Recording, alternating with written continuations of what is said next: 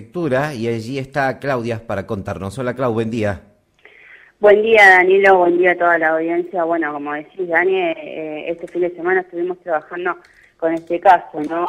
con la búsqueda del señor Ramón Alberto Toledo, de 56 años, donde, bueno, vino un fin de semana, ¿no? A pasar con, con amigos, eh, familiares acá en Varadero, eh, en el kilómetro 19, donde lo llaman Los Petos, eh, y bueno, eh, se encontraron con la noticia ya para el día sábado, más o menos aproximadamente el sábado a las 15 horas, donde eh, no, no, sabían dónde estaba Toledo, ¿no? pero acá estoy con Sergio Peralta, el prefecto, y que estuvo trabajando ¿no? este fin de semana muy arduamente con Defensa Civil, bomberos voluntarios, y se va a ir sumando también una embarcación de San Pedro. Ahí te paso, si a los Muy bien. Vamos a hablar con el prefecto entonces, Sergio Peralta. ¿Qué tal, Peralta? ¿Cómo le va? Buen día. ¿Qué tal? ¿Cómo le va? Muy buen día. Gracias por habernos atendido. ¿eh? No, por favor. A ver, cuéntenos en principio qué noticia le llega a ustedes y cómo se inicia todo esto. Bueno, el día sábado 17, en horario de la tarde, en, una navegación nos consulta un grupo de pescadores que estaba ahí en la zona ¿sí? nos, ponen conocimiento que en horario de, la tarde no, estaban pudiendo encontrar una, uno de sus compañeros. ¿sí? Entonces nos pedían eh, asesoramiento cómo, cómo actuar, ¿sí? o, a dónde podía encontrarse o a qué lugares de ahí cercanos podía, podría moverse. Entonces, por las dudas, nosotros ponemos conocimiento al, al, de quien es jurisdicción, ¿sí? que el Destacamento de Seguridad de Laureles, ¿sí?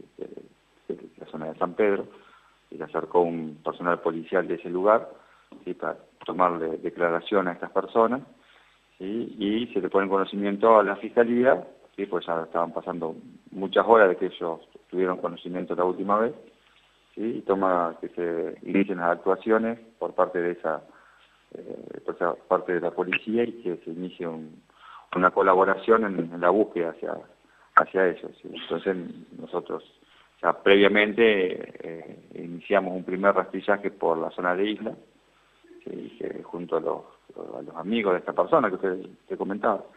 Y se hace unas primeras navegaciones a vista de costa en ese sector para poder ver si se encontraba alguna persona que haya estado perdida. Peralta, discúlpeme, cuando los amigos lo ven por última vez, ¿qué es lo que estaba haciendo o qué fue lo que ellos recuerdan de ese momento?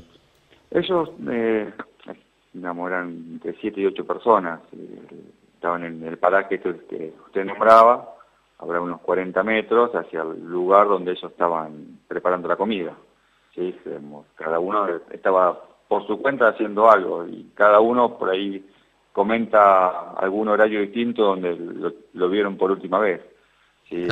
por ahí algunos comentaban que eh, había acercado a revisar las cañas y otros dicen que había ido a caminar por, por la costanera, por la parte de, de, costas que estaba caminando. Si alguno por ahí dice que por ahí solía andar por la parte de los bañados, pues esa parte tiene un sector muy importante, si más adentándose a la isla con, con bañados, que se puede caminar ahí tranquilamente, o sea, no camina prácticamente por arriba del agua, que lo que es, muy placito y, hay distintos sectores donde la persona pudo haber desaparecido, ¿entiendes? Eh, se toman todas las hipótesis y no, se descarta ninguna. Eh, de todas las hipótesis hablamos de peleas, de caída al agua, etcétera. Tal cual, tal cual, que no, no hay que descartar nada, eh, se trata de, ir siempre a la de máxima.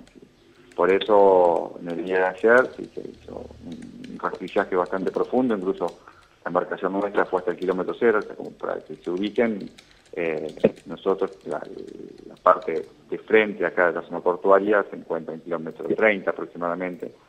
El lugar del hecho aproximadamente entre el kilómetro 20, 21 al 19, que es la boca del Pintos, la conocida, y el cero es allá donde termina el río Barradero. O sea, es un tramo bastante amplio de, navegación.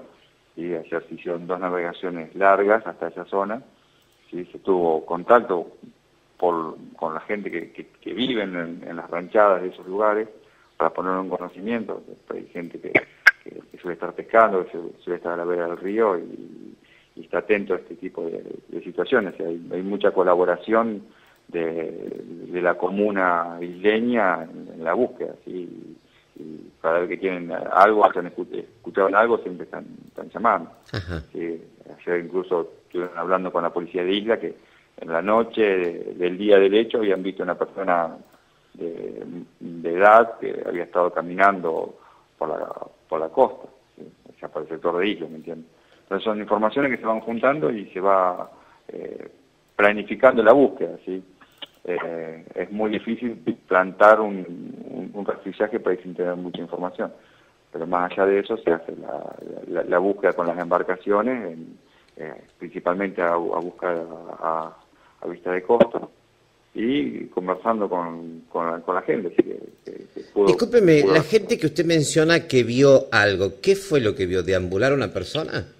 Claro, dicen que había una persona que por ahí pudo haber estado media perdida, pero bueno, son, son comentarios, son pequeños comentarios que hace la gente, que en, estas situaciones, eh, ante la duda, lo, lo, cuentan. Vieron una persona que no era del lugar caminando por esa zona, en proximidad, en un kilómetro ahí de, la zona. Entonces son, son pistas que uno va teniendo, información que va recabando para tratar de por ahí hacer un rastrillaje más profundo en, esa zona. Nunca, se, nunca se debe descartar nada. Pero ¿qué le ha dicho la familia? Con la familia me, reuní ayer, ¿sí? estuvieron a primera hora, ellos son de Tuzangó, vino dos hermanos y el hijo, que, están a, disposición, en este momento ellos se encuentran en Tuzangó a la, a la espera de, que le pasemos alguna novedad. Tengo contacto permanente con ellos, me están consultando por teléfono, les, di mi número de teléfono y les voy pasando eh, cada movimiento que vamos haciendo, los pongo en conocimiento a ellos para que se queden tranquilos que se está afectando la búsqueda, que era el miedo que ellos por ahí tenían en, en primera instancia. ¿sí? Eh, ellos no, no, tienen un lugar como para quedarse acá en, en, la ciudad, ¿sí? hoy seguramente van a estar viniendo para pasar el día. Eh, y hasta que se, tenga alguna alguna novedad. La, incertidumbre que se están pasando es bastante bastante complicada. por supuesto. Por supuesto. Eh, más que nada, eh, estas situaciones que por ahí ellos ya estaban con algunas complicaciones en lugar de, enfermedad y, que hacen que estas situaciones no previstas se les, traiga algunas complicaciones. Eh, por último le pregunto, ¿era gente que conocía Varadero, digamos que era habitué a esta zona? Por lo que conversamos con el grupo de amigos, ya han venido en, en otras instancias, ¿sí? han, venido a pescar, han venido a, ese sector, ya, lo conocían. ¿sí? ¿Cómo se lo denomina el lugar?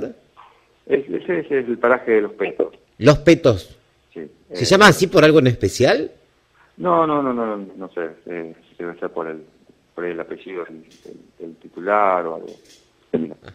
El lugar... ¿Los dueños son de Varadero, de ese lugar? Sí, sí, sí. Ajá.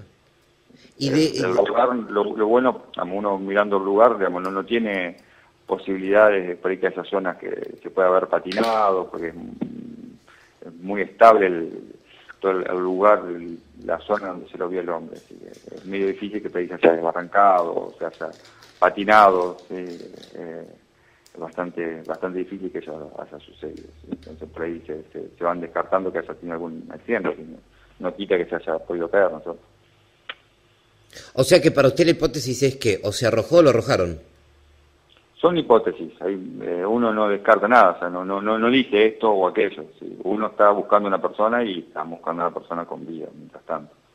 Eh, uno, uno toma toda la las precauciones eh, de, la información que tiene, que por lo general siempre es, poca, y no siempre la información es, confiable.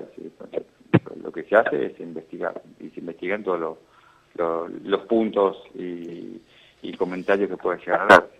No, no, vamos al, a lo que uno supone que puede ser, se trata de trabajar en todos los, puntos. Perfecto, le agradezco mucho que nos haya recibido ahí. ¿eh? No, por favor, que tenga buen día. Igualmente usted. ¿eh? Hasta luego. La palabra del prefecto Sergio Peralta, el jefe de la prefectura de nuestra ciudad, hablando con nosotros, explicándonos los detalles de lo que reciben ellos como información y a partir de allí esta búsqueda que se inicia, Claudia, desde el sábado por la tarde y que hasta hoy no tiene novedades. Así es, Dani, ya bueno, varios días ya van, ¿no? Y también nosotros decir que estuvimos en contacto eh, directo con la, con la familia, eh, así que bueno, en unos minutos eh, vamos a estar en exclusiva hablando con uno de los familiares. Aguardamos ese contacto contigo. ¿eh? Muy bien. Gracias, Claudia. Hasta luego. Nuestra primera noticia de la mañana tiene que ver obviamente con la búsqueda de este hombre y la palabra exclusiva del jefe de la prefectura. Desde cualquier lugar